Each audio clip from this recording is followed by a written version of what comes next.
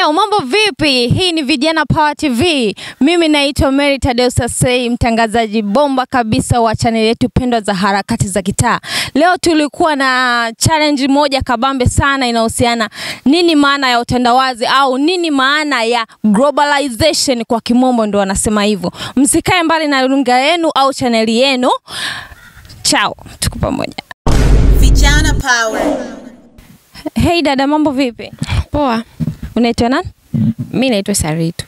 Okay, Sarito, kama vile nishakuonaga bwana eh. Nilionaga tena huko na brandi moja kubwa sana ya Harmonize. Hivi ni wewe kweli au?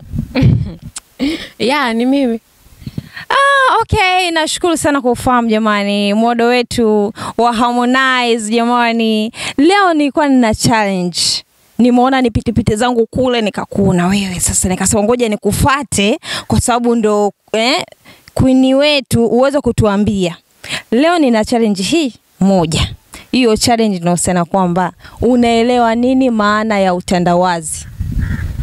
Ah, okay. Ah, utandawazi, mimi ninavyoelewa, utandawazi ni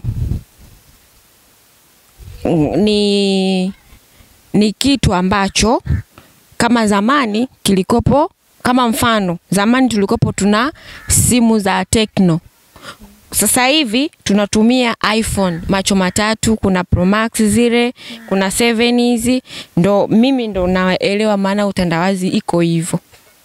Yaani iko kwamba yani mazingira yanabadilika ukiwa na maana gani? Namaanisha kwamba yani kwamba ni ni, kuku, yani ni kujengeka kwa vitu, mfano kama zam, zamani sikuwepo asilimia nyingi, utaenda utakuta tumejengewa nyumba za makuti. Mm. lakini makuti chini wanatia nini? Hizi matope chini matope. Mm. sasa hivi utakuta utakuta kuna hoteli imewekwa makuti chini umetengeneza mbao hizi tofali za broko wanapiga vizuri nini? Ndo mimi ninavyoelewa hivyo. Okay, na umenielezea vizuri, lakini nataka niingie humo humo ndani. Maana ya utandawazi, yani utofauti kati ya huo utandawazi pamoja na maendeleo, kwa Kiingereza wanaita development. Kwako wewe, kwa jinsi ulivyoelezea, yani kama vile inaingia kwenye development. Sasa sijaelewa, wewe unaweza ukazitofautisha vipi hizo mbili? Ah, okay. Ninavyoelewa, okay, utofauti wake utandawazi ni ni ni tuseme si nikueleze vipi. Ah, ngoja nijaribu. Utandawazi ni, ni kile kitu ambacho kime yani kimetoka kimetoka kwenye upole kimeingia kwenye kuchangamka kwenye uchangamfu na maendeleo yani maendeleo una- unamaanisha kwamba kuendelea maendeleo. Pia mi naona kwamba viko sawa ila tu kusema kwamba huu utandawazi na maendeleo mi naona viko sawa. Kwa sababu bila maendeleo hamna utandawazi. Na bila utandawazi hamna maendeleo. Nashukuru sana dada. Vijana Power. Vipi, Poa, unaitwa nani? naitwa Sabrina. Okay Sabrina, uh, leo nilikuwa nina challenge moja hivi. Inauliza kuhusu nini maana ya utandawazi, na isitoshe huwa kuna msemo unasema kwamba mm, watu, watoto siku hizi wameharibika kwa ajili ya utandawazi. Hivi kama mtu akiongea hivyo au mzazi au yeyote, kwako wewe unaelewa vipi? Uh, kwa upande wangu inategemeana na wazazi wenyewe, kwa sababu unajua wazazi ndo inatakiwa mwelimishe nani mtoto wao mm. eh. Sasa wamwelimishe mtoto wao kwenye nini, yani kivipi? Kwa sababu yani swali langu lilikuwa linahusiana kwamba unakuja kukuta watu fulani wamekaa mahali au mzazi labda anasema kwamba mm, watoto wa siku hizi wameharibika sana kwa ajili ya utandawazi. Yaani kwa mzazi kusema vile, wewe unafikiri anaashiria kitu gani? Ndo swali langu hilo. Sijui nisemaje. Unaweza ukajaribu.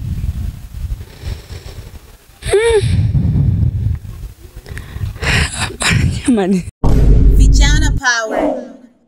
Ah, maana ya kusema utandawazi kwa mimi ninavyoelewa Sisi watoto natakiwa tuwasikilize, mimi yani tuseme tuwasikilize wazazi, kwa sababu kuna watoto wengine tuwasikilize wazazi, kuna wengine tunawasikiliza wazazi.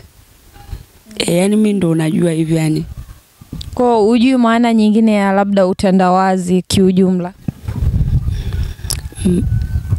na nyingine nayojua labda vitu kubadilika badilika, labda kama kwa mfano zamani tulikuwa tunatumia vibatari wengine e, kwa sasa hivi tunatumia umeme e, napo ni utandawazi. Mimi ningependa kukuuliza kwamba kwa sasa hivi wewe upo kwenye utandawazi au haupo? Nepo Wewe unahisi upo kwenye utandawazi gani? Yaani wa sehemu sehemu gani yani? Maana um, Wazamani wa ishatoka, sasa hivi tupo kwenye utandawazi mwingine wa sasa hivi. wewe unaelewa utandawazi mwingine upi? Kama una, una idea kuhusu hilo. Kwa kweli mi sijui Hujui kabisa? eh. Vijana Power. Hey dada, mambo vipi? Poa, Unaitwa nani? mi naitwa Oti. Oti Oti from where? Mimi bwana natokea hapa hapa Kongowe. Okay, leo nimekuja na challenge moja kabambi sana. Hiyo challenge inahusiana nini maana ya utandawazi. Hivi unaweza ukanielewa ukanijaribu ukani e, kunielezea unaelewa nini kuhusu hilo jambo? Mm, kwa mimi hapa naposikia neno utandawazi, kwa uelewa wangu mimi huwa na yani, naweza kuelezea hivi, utandawazi yani ni hali ya kutoka, yani niweze kusema kwamba kutoka katika hali ile ya kizamani kuja katika hali hii ya sasa hivi, maana mambo ya zamani na sasa ni tofauti. Sasa hivi vitu vingi viko vinaende, yani vitu vinaenda vizuri na kwa uharaka zaidi, sio kama zamani. Mm? Sasa hivi kuna mabasi, kuna simu eh? yote ni utandawazi, kuna connection, hizo zote ni utandawazi, kwa sababu zamani connections zilikuwa hakuna eh? mtu unakaa mpaka upigiwe, lakini sasa hivi unaweza ukapigiwa simu tu eh? video call unaona, yani naweza nikasema tu mimi ndo naelewa hivyo. Okay, wewe unaelewa hivyo, lakini kuna unaweza kuna utofauti kati ya utandawazi na maendeleo. Kwa Kiingereza wanaita development. Kuna tofauti kana kati ya hivyo? Tofauti ipo. Tofauti gani? Eh, Hebu kwanza rudia hilo swali lako. Okay, yani ni hivi, kwa sababu jinsi ulivyoelezea kuhusu utandawazi inaonekana kabisa inashabiliana na maendeleo. Umeona, kwa Kiingereza wanaita development. Kwa hiyo kama maelezo yako yanaele- yanauiana na hiyo nani hii globalization na development, je, wewe unaweza kuzitofautisha vipi hizo nani mbili? Maki kwanza hapo. Yaani Vijana Power. kwa hiyo mimi naona utandawazi ni mzuri eh? Vitu vinaenda kwa, yani chochote ambacho kinaendelea kwa sasa ni utandawazi tunasema. Vijana Power. Hey bro, mambo Poa sister, mambo. fresh. Unaitwa nani? Naitwa Nasiri, wewe unaitwa nani? Mi ni mtangazaji wa Vijana Power TV, naitwa Mary Asei. Leo tulikuwa tuna challenge moja ambayo inahusiana, wewe unaelewa nini kuhusu masuala ya utendawazi? Ninavyoelewa hii kuhusu masuala ya utandawazi ni kama kama maendeleo fulani, kwa sababu wakati wa Nyerere na Mwinyi tofauti. Umeelewa? Zamani tulikuwa tuna, tuna, tunaona TV za chogo, lakini sasa hivi tunaona TV za flash. Ni ni nani Nyerere kazi kazileta zote. Umeona? Sasa hivi tuna flash tunaziona, CD za kawaida tunaziona. Umeona bwana? Eh? Zamani kulikuwa na redio za, za cassette zile, sasa hivi hamna tena. Sasa hivi kuna mwendokasi, mwendokasi mimi tulikuwa tuzijui zamani, wakati wa Nyerere zikopo hakuna kabisa, ila sasa hivi zipo mwendokasi, kuna flyover. Umeona bwana, mimi ndo ninavyoelewa mimi kuhusu utandawazi kama maendeleo fulani. Wewe unafikiri kwamba utandawazi ni mzuri? E, ni mzuri, naweza nikasema hivyo. Okay, sasa kama utandawazi ni mzuri, siku hizi unakuja kukuta wazazi wengi wanalalamika kwamba watoto wengi wameharibika kwa ajili ya utandawazi. Yaani utandawazi imechochea watoto wengi kuharibika. Je, inahusiana na nini hiyo? Ah, yani, yani kuhusu yani kama niseme ni utandawazi na yani, yani kama ni maadili tu. Umeona kwa sababu utandawazi ni kama maendeleo fulani. Umeona kama vitu vinasababishana fulani. Kwa hiyo ile kama ni maadili tu. Kwa ina maana watoto wa sasa hivi wanafundishwa mapenzi akiwa watoto wadogo. Unaelewa? Umeona bwana, wakiwa wakiwa hata na miaka miwili mitatu anaanza ku, ku, kufundishwa mapenzi, anaanza kufundishwa hivi hivi na hivi mpaka wanaharibika vile. Kwa hiyo nafikiri jinsi siku hizi watoto wengi wameharibikiwa, tutasema kwamba utandawazi ni mzuri au utandawazi ni mbaya?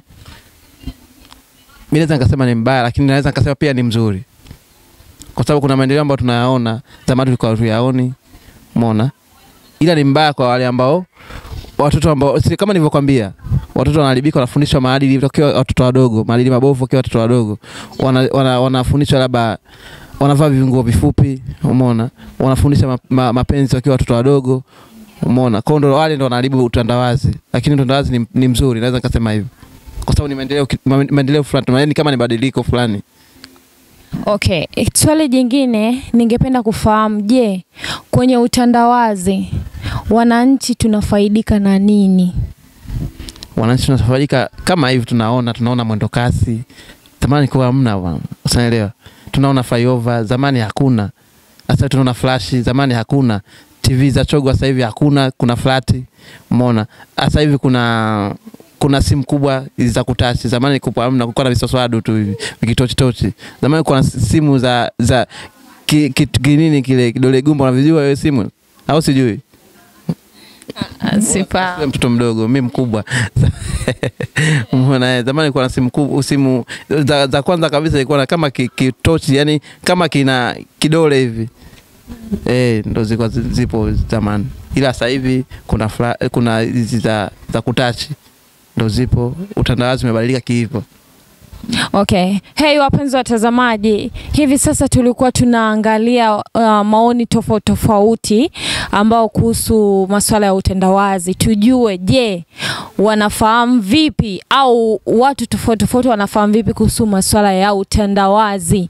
Usisahau kulike, share na kucomment, na pia unaweza uka comment uh, kuweza kufahamu kwamba Je, unaelewa nini masuala ya utandawazi? Unaweza ukashusha komenti yako hapa chini tukaweza kujua, je, unauelewa gani kuhusu hilo jambo. Then mlikuwa na mimi mtangazaji wako Merita Dosasei. Chao. Usikose kuangalia Vijana Power. Pia usisahau kutembelea chaneli yetu ya Vijana Power. Vijana Power TV, Yaani hawa ni Vijana Power, wala usiache kusubscribe. ndani ya vijana Power na mimi nimo bila kusahau Chidi the director, huyo ndo mtaalamu mwenyewe huyo kwenye mashine moja na pili. Mimi naitwa Ngoma Nagwa, tunaendelea kuufilimba. alafu usisahau kucomment kushare hali kadhalika na kulike pata lalunayo Vijana Power.